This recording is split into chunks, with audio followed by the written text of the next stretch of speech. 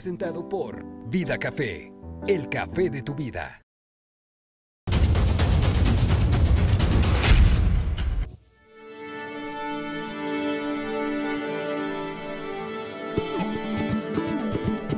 Amigos de Triple R, paisanos de Chicago y Los Ángeles que nos ven, nos escuchan, nos siguen a través de las redes sociales y de la radio pública.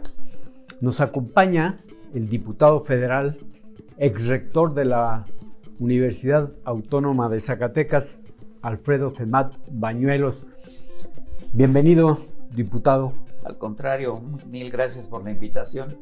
Será un honor y un gusto siempre estar en tu programa, donde nos ven tantos mexicanos dentro del país y fuera del país. Por lo que necesitamos que nos explique es cómo nos fue en el presupuesto, porque unos dicen que nos fue de la fregada, que nos fue, este, que nos quitaron 3 por 1, nos quitaron el fondo minero, nos quitaron el Fortaseg, y vi que usted subió que vamos a recibir 48 mil millones de pesos. Sí. O sea, es, es, muy sencillo. Digo, hay veces que se generan polémicas innecesarias. Yo entiendo, eh, pues, las posturas políticas. Hay quienes estamos a favor de la cuarta transformación. Hay quienes estamos empujando junto con el presidente la transformación. Y hay quienes, en un derecho legítimo, desde su concepción, hacen todo lo contrario. Eso es normal en la política.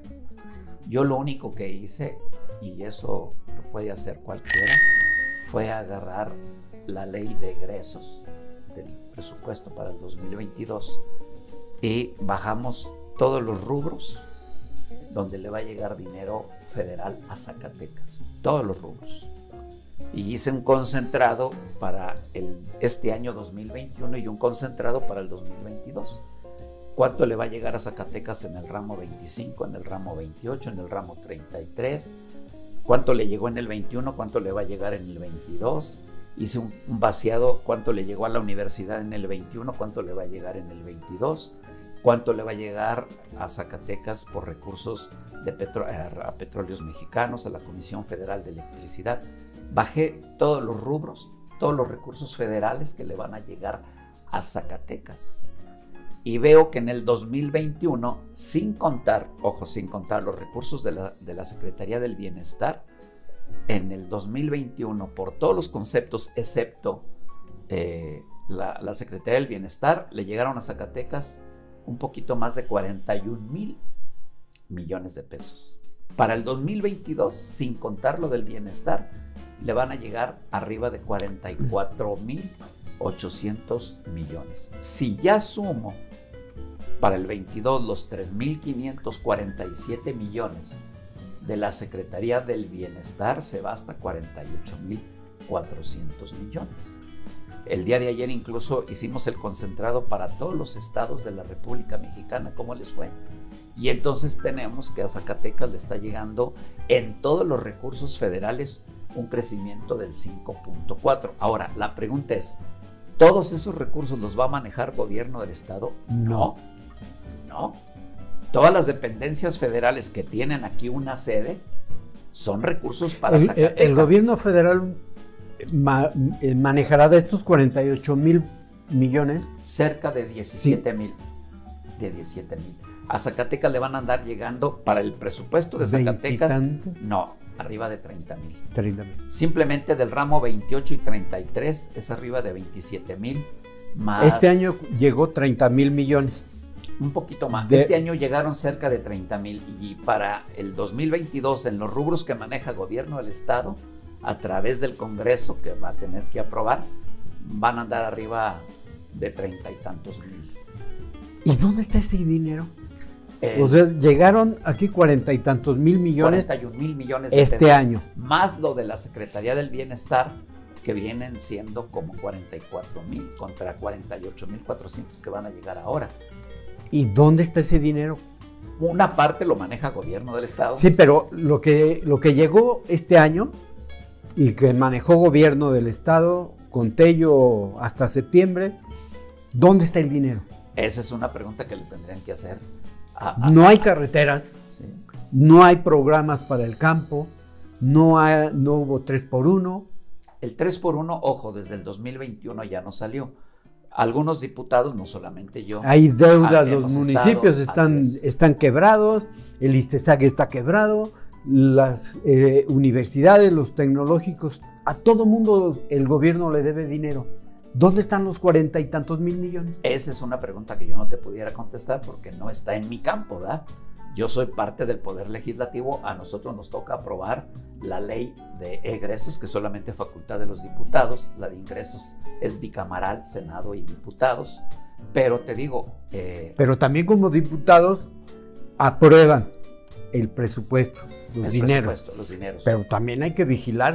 Ahí es función de la, eh, de, la, de la, función pública, ¿verdad? Ya la Auditoría Superior de la Federación tiene que fiscalizar los recursos federales y la Auditoría Superior del Estado tiene que este, fiscalizar lo local. Pero yo te digo, por este tema que yo en lo personal te digo, no le veo incluso mayor tema. O sea, tampoco es para aventar las campanas al vuelo, porque por lo menos ahorita el piso para el año que entra son 48.400 millones. Pero ojo, está pendiente lo de la carretera Ojo Caliente eh, Aguascalientes, que en este caso... Que no trae dinero. Eh, no está todavía el dinero, aunque hay un acuerdo ahí de la Secretaría de Comunicaciones y Transportes que, que comentaron que como ya era un compromiso del presidente, eso va a continuar. Se habla de 300 millones de pesos. La de Tepetongo, Tlaltenango, se habla de 150 millones, que no vienen del presupuesto. Pero esos yo digo que hay que ir por ellos el, tema del FONE, de la nómina, que hay que federalizarla porque es un boquete de 2.800 que trae 500 millones menos. De esos 1.200 millones extraordinarios que le dieron, porque el gobierno federal lo que hizo es que en tanto van gradualmente federalizando la nómina, le había dado a Zacatecas un apoyo de 1.200 millones extraordinario. Se dice extraordinario porque no es parte del irreductible y como se lo iban dando por ministraciones, cuando se hace el presupuesto, quedaba todavía esa cantidad por ejercer. Entonces ellos lo toman como su ejercicio. Yo creo que hoy lo que tiene que hacer el señor gobernador, el secretario de Finanzas, es uno, ir por la ratificación del apoyo extraordinario por el boquete que hay del FONE, porque no es un problema del gobierno actual, ni siquiera del que se fue. Y yo creo que hay que ir cerrando. Yo por lo que sé, el gobernador está haciendo el esfuerzo para que ese boquete de 2.800 millones reciba un apoyo para el siguiente año de cerca de 2.000 millones. Irreductible. Eh, eh, ahorita sería extraordinario para luego convertirlo al irreductible, ¿verdad? Que eso es lo que hay que hacer.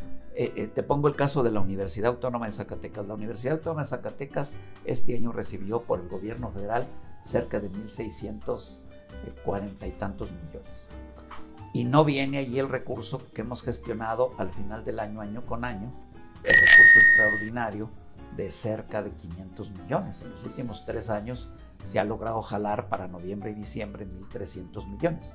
Ahorita ya el gobernador está encabezando la negociación para la universidad por el orden de los 500 millones de pesos. Entonces, el piso ahorita de todos los recursos federales para Zacatecas, repito, son 48.400. Pero desde el primero de enero del 2022 hay que ir por 500 millones para las carreteras, para las dos carreteras. Hay que ir por lo menos por 2 mil millones para el asunto del boquete que traemos con la nómina magisterial.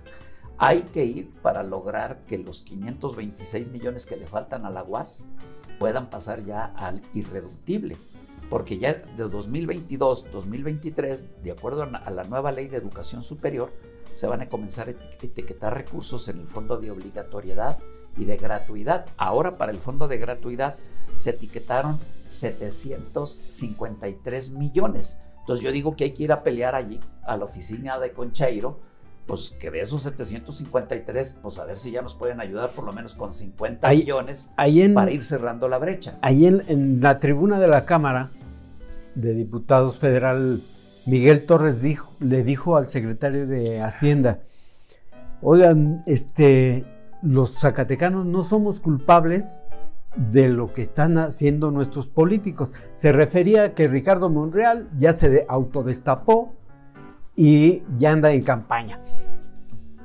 El presidente quiere o por lo menos ha mostrado eh, preferencia por Claudia Sheinbaum.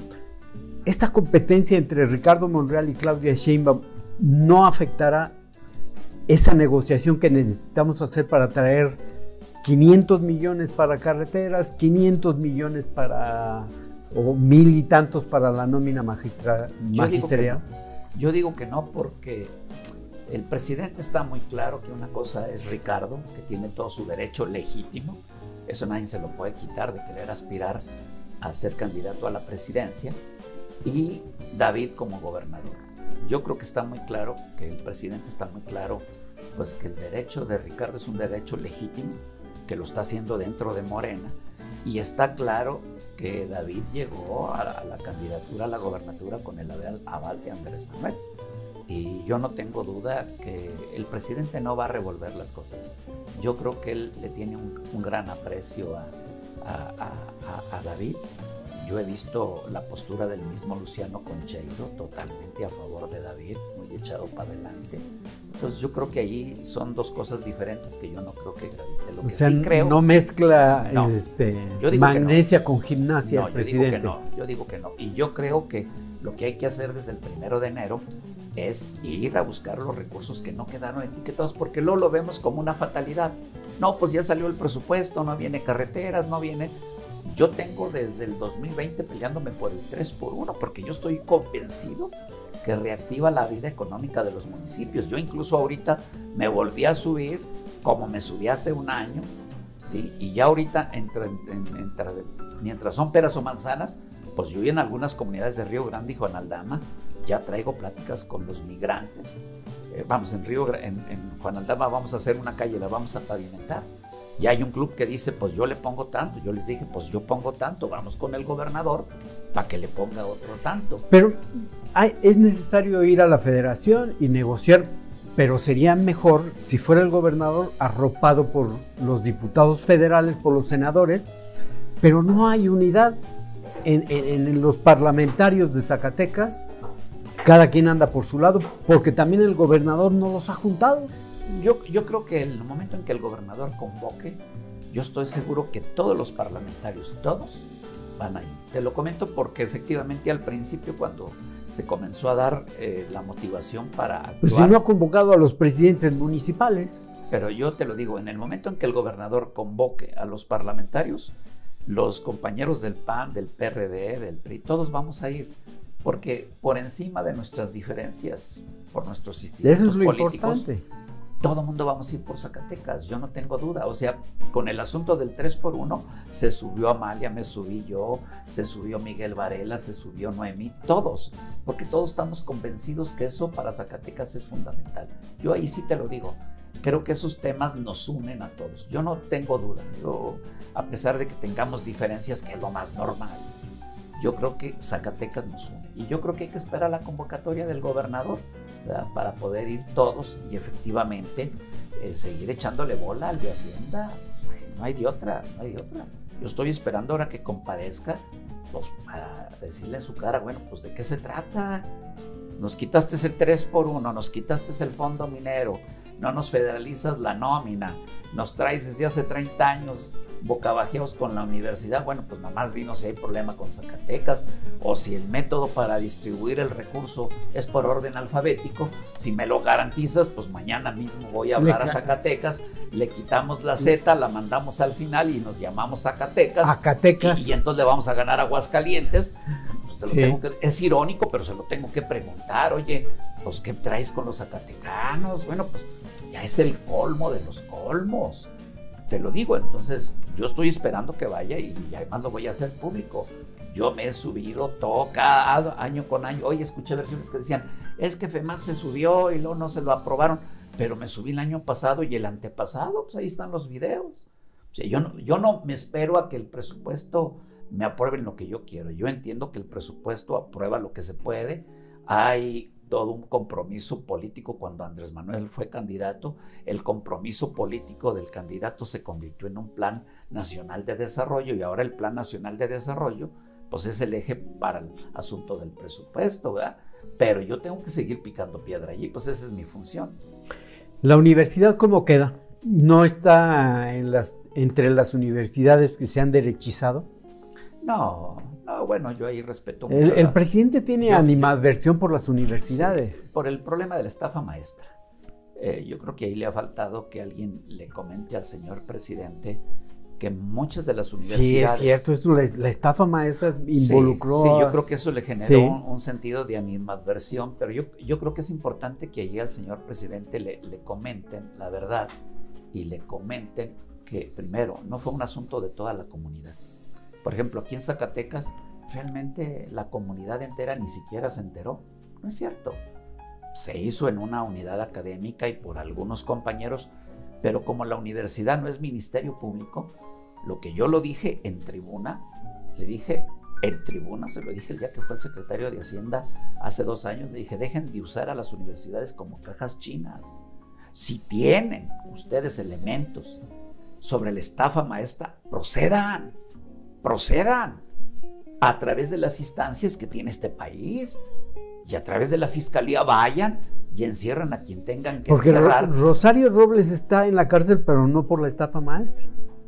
Por eso, pero en el asunto de la estafa maestra, yo lo que le pedí al gobierno federal es dejen de usar a las universidades como cajas chinas y procedan y encarcelan a quien tengan que encarcelar pero no metan en un saco a todas las universidades y no metan en un saco a todas las comunidades de las universidades. Y yo sigo insistiendo, yo siento que efectivamente allí hay, un asunto eh, que la estafa maestra ha dañado, pero yo sigo sosteniendo que las universidades públicas en este país son uno de los pocos espacios que generan movilidad social. Muchos de nosotros, gracias a la universidad, rompimos con, una tradición de pobreza, que veníamos de una familia pobre y si no es por la universidad, jamás hubiéramos terminado una licenciatura, jamás hubiéramos tenido el empleo que hoy tenemos. O sea, la universidad sigue siendo factor de movilidad social y yo digo que hay que seguir machacando ahí, hay que seguir machacando, hay que seguir impulsando para que efectivamente se entienda que, que el asunto que se dice de la derechización no es un asunto de las universidades. El modelo neoliberal no ha respetado fronteras. Es un pensamiento que fomenta el egoísmo, la individualidad, los asuntos materiales, hacia un lado la fraternidad, la cooperación, la solidaridad. Pero ese es, ese es un paradigma de vida que hoy gobierna el planeta. no por algo el presidente fue a las mismas Naciones Unidas a pedir un nuevo esquema de fraternidad con bienestar haciéndole una petición a los hombres más ricos del planeta para que aportaran el 4% de su riqueza a las empresas más ricas del planeta con el fin de juntar un billón de dólares para que 750 millones de habitantes del planeta que viven con menos de 2 dólares pudieran tener un apoyo. Es, esa propuesta medio jalada de los Morelos, ¿no? Por eso, pero tiene todo el derecho de hacerlo, eso nadie se lo puede quitar. Y tener el valor de ir a la ONU y plantearlo, a muchos se les puede ser descabellado, pero a mucha gente dice... Sí, pero también lo planteó en un lugar equivocado, pues iba a la Comisión de Seguridad, le, dijeron, espérese a que hubiera venido al Pleno. Sí, pero bueno. ¿Cuánto necesita la universidad para regularizarse? La universidad necesita 526 millones de pesos. Eso es lo que necesita para terminar el año. Extraordinario. Es lo que necesita para terminar, cerrar. Y ojo, ojo con esto. La gente a veces no lo sabe y creo que ahí los universitarios eh, ha faltado que comuniquemos. Te voy a dar datos precisos de acuerdo al convenio de subsidio. Si tú agarras el convenio de subsidio de la universidad de 1995 y agarras el del año 2021, no vas a creer lo que vas a encontrar. El subsidio que se le da a la universidad es el subsidio que soporta el número de plazas. En 1995 la universidad recibía cerca de 500 millones de pesos para respaldar el pago de 776 tiempos completos, 270 medios tiempos y 14.404 horas. Y con ese personal autorizado, 1.051 plazas de trabajadores administrativos, con ese personal atendía a 14.700 alumnos en 33 programas en tres, en tres municipios. Te vienes al 2021. 26 años después. 26 años después. Y ahora la universidad no atiende a 14.700, atiende a cerca de 40.000. 40.000. Ha crecido en un 160% la matrícula que atiende. Ahora no está en tres municipios, ahora está en 18 municipios. Ahora no tiene 33 programas, tiene 103 programas. Ha crecido en un 208% en su oferta educativa. ¿sí? Y te vas al número de plazas y te vas a encontrar 776 plazas de tiempo completo, 270 de medio tiempo, 14.404 horas y solamente nos han dado en 26 años 231 plazas de tiempo completo por la vía del promedio. Es decir, en medio tiempo y en hora clase, en 26 años, a pesar de que crecimos la matrícula, la oferta y la presencia, no nos han dado una plaza más. El problema de la universidad, el desfinanciamiento de la universidad es porque el gobierno federal y su par, el gobierno del estado, no le han dado un incremento de recursos en el número de plazas para poder atender la matrícula que creció, la oferta que creció y la expansión que tuvo. Y entonces la universidad, ahora sí como la canción, ¿verdad? Pues ahí te dejo esos tres pesos para que pagues el agua, la luz. Si tú a la mujer le dabas hace 20 años tres pesos y ahora le quieres dar tres pesos, te va a decir, oye, pero hace tres, hace 20 años éramos tú y yo cuando nos casamos, ahora eres tú y yo y ocho hijos más. O sea, es lo mismo en la universidad y esa cosa no se sabe. Entonces la gente dice, es que la universidad es un barril sin fondo. No, discúlpenme. La universidad es la máxima casa de estudios. No hay Zacatecano que no tengamos una deuda con la universidad. Es la universidad que tiene la mayor presencia, que tiene el mayor número de doctores, de miembros en el SDI, de cuerpos académicos colegiados. Es la universidad que tiene el mayor número de programas acreditados. Es nuestra máxima casa de estudios. Pero el gobierno federal y el gobierno del estado no han ido al parejo con la universidad en el incremento de sus obligaciones y la han dejado sola. Y yo lo que he reclamado, porque lo he reclamado, ya hay videos, le he dicho al secretario de Hacienda, esto que les acabo de narrar, se lo dije al secretario de Hacienda, al que se fue. Dije, explícame, explícame. Pues no me pueden explicar. Y lo único que dicen ellos, bueno, es que quien aprueba el presupuesto es la Cámara de Diputados. Sí, pero quien manda la propuesta son ustedes. Entonces yo lo que te digo es, con 526 millones que le dieran a la universidad, al irreductible, y que eso viniera ya etiquetado para más plazas de tiempo completo de profesores, más de medio tiempo y más horas clase, y más eh, plazas para trabajadores por los nuevos espacios que se han abierto, la universidad cerraría su proceso sin ningún problema. Pero no es cierto que sea por malos manejos.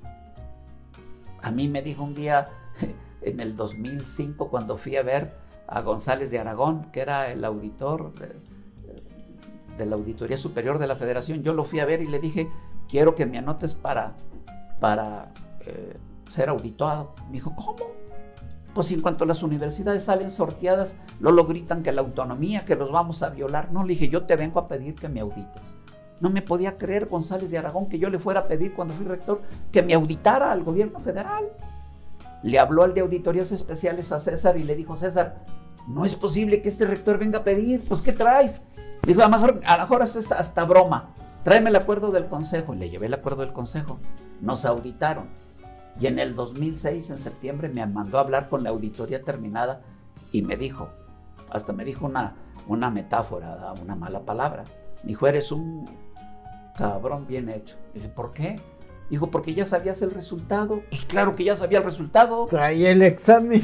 Dije, oye, pues, pues si los contratos me valen 100 pesos y tengo 77 pesos y me faltan 33, pues ¿de dónde quieres que me robe? O si me faltan 33, más bien pregúntame cómo le he hecho para pagar.